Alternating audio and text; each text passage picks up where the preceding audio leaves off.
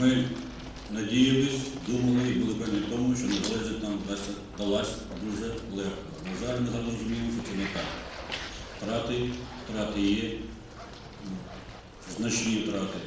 На сьогоднішній день я схиляю голову перед всіма загиблими і десантниками в Луганському аеропорту, і екіпажем літака Йл-76, і взагалі всіма загиблими в цій війні протистояння російській агресії.